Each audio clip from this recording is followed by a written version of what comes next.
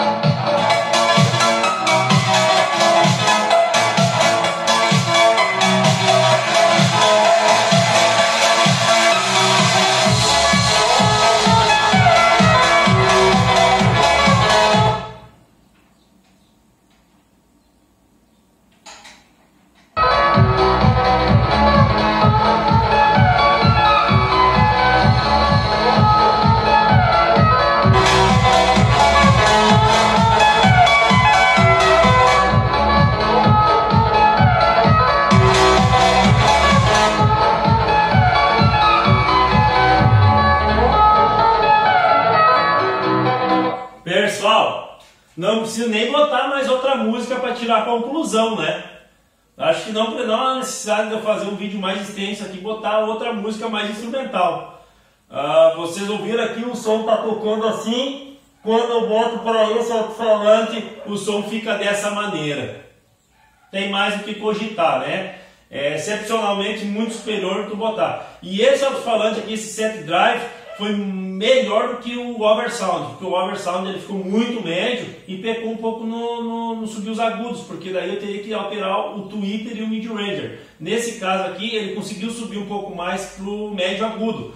Claro, esse alto-falante, esse mid-ranger faz esse papel, ele ajuda, mas porém aqui ficou mais equilibrado quando toca todo ele com esse alto-falante. Agora eu vou fazer essa mesma faixa dele. De música, eu ia usar outras músicas mas senão o vídeo fica muito extenso e já dá pra gente ter uma, uma noção de diferença de sonoridade. Já pensou isso no vocal, né? Quando é instrumental, a pessoa está usando a voz, essa aqui é muito superior. Infelizmente, por causa dos direitos autorais, eu não tenho como estar tá usando músicas de artistas com voz. Felizmente é, é, o YouTube, né? Não, você não tem como comprar música, nem como comprar. A tua monetização total vai para o detentor dos direitos autorais. Então, infelizmente, é inviável, né? Para a gente que está aqui no YouTube, está trabalhando, está tirando nosso tempo que poderia estar tá fazendo outras coisas. É uma coisa que a gente gosta de fazer, é, mas detém tempo, né, pessoal? Então, para isso a gente precisa ganhar.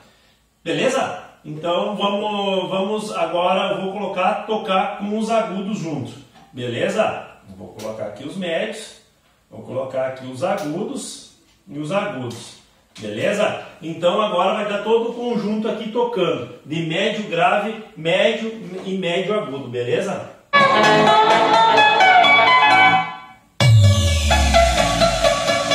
As dois lá tocando. Ah, para isso aqui acho que já vai ser melhor Melhor maneira eu vou colocar a mesa, que daí eu só jogo de um canal para o outro. Como vocês já viram.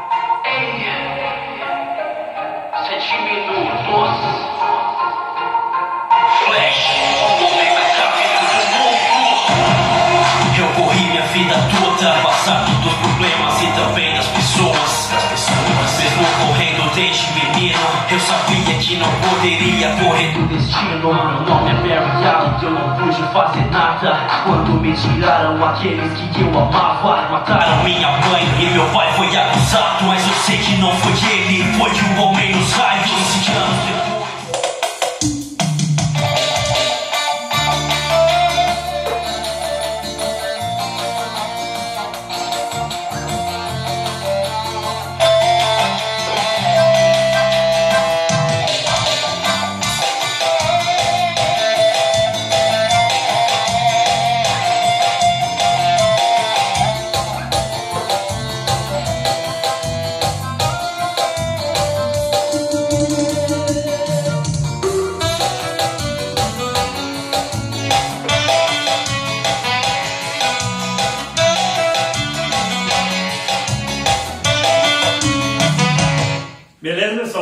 Fazer mais testes, né? Já está visto e ouvido a diferença. Nem vou colocar aqui mais música. Os subs eu vou tirar da mesa aqui, né, pessoal? Eu vou ter que estar tá desconectando porque o subwoofer trabalha em estéreo simultâneo, que nem quando eu faço com a NHL. Entende? Ou outros sistemas de som aí profissional também. Agora vamos ouvir os graves, né? Beleza? Eu vou estar tá só conectando um sub aqui e o outro, né? Tá a função Bass Blast né, o grave no equalizador manual fica um pouco mais macio, mas eu vou deixar no Bass Blast, vou colocar aqui no volume 20, né, é para a gente ver, igual vai ter uma noção de potência e tal, no mesmo volume, no volume 20, beleza? Vai dar aquele impacto tão grande no alto-falante. Eu vou deixar naquela música que desce a frequência, né, volume 20 Bass Blast. Primeiro eu vou deixar, vai estar tá esse aqui tocando, do Upgrade.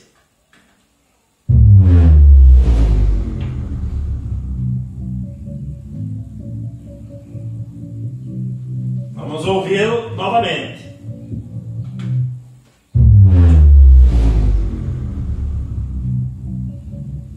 Esse é o top.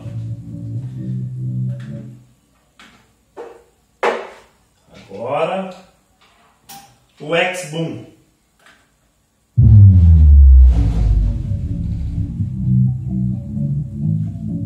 Mais uma vez.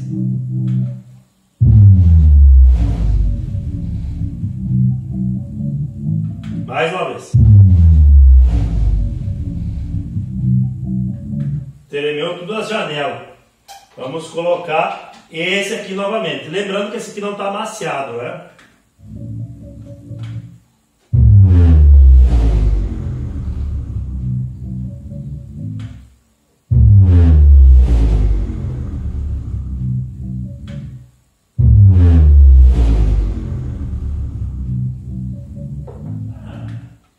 Percebi aqui, muito parecidos, não deu muita diferença. Aqui parece que desceu um pouquinho mais e o grave um pouquinho mais macio, mas pouca coisa de diferença. Não notei assim nessa vibração e nessa descida. Vibrou um pouco aqui a caixa, porque como eu disse, não está com EVA e a caixa não fechou. Eu tinha que ter tirado isso aqui do alto-falante, que ele veio uma espuminha aqui, ó, para poder fechar bem a caixa, né? Naquele alto-falante lá eu não tirei. Então por isso que deu uma vibração na caixa ali, né? Porque eu botei só provisório e só com dois parafusos. Mas, cara, não mudou muita coisa não, né? Pelo gasto. Os médios agudos sim, mas nos graves não. Vamos seguir o teste.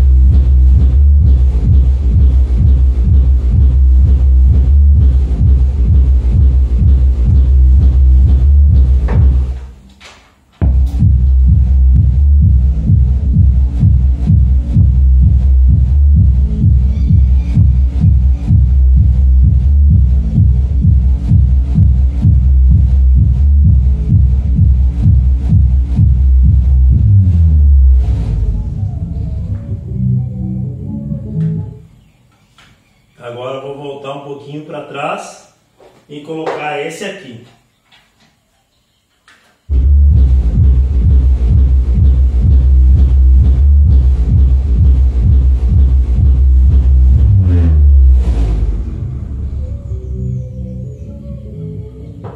É isso aí, pessoal. O que eu constatei aqui no teste final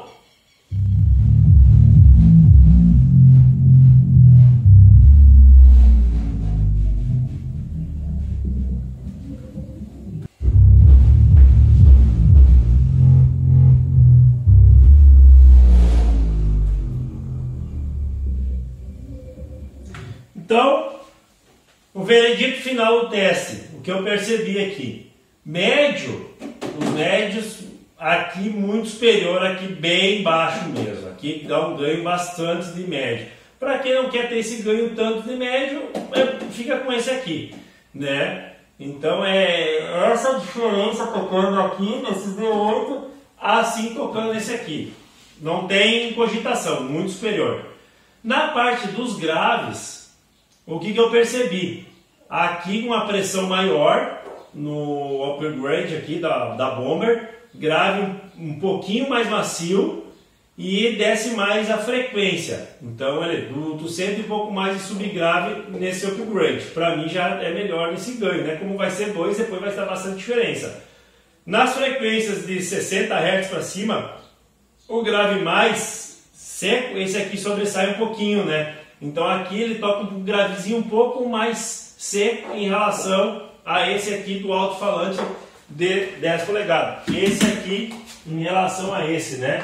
Então esse aqui o grave desce um pouco mais a resposta do subgrave, você ouve melhor, um grave um pouco mais macio. Aqui um, um grave um pouco mais para alta, né? Mas é muita pouca diferença. O custo do investimento de comprar dois upgrades para substituir, eu acho que não compensa muito. Vale a pena, mas é, não é muito satisfatório no bolso. Né? A não ser que vai vender esses dois para comprar os outros dois, aí compensa. No caso aqui, dos D8, compensa botar o set drive, só que daí tu vai ter que investir, mas compensa. Para quem tem mais médio, esse set drive aqui, ele conseguiu ser melhor que o oversound, porque ele, ele conseguiu subir um pouco mais o, o médio agudo e agudo, né? Então ele ficou mais harmonioso ao conjunto sem substituir os Twitter lá. O bom seria substituir o Twitter. Aí sim você teria um CL98 turbinado. Se você conseguir trocar todos esses alto-falantes de melhor qualidade, que nem está o caso aqui, aí sim, aí você teria um CL98 modo turbo, né? Com mais mais pressão sonora e com maior qualidade, mesmo usando a mesma potência. Por quê? Pela eficiência e qualidade do alto-falante, né? Beleza, pessoal? Valeu?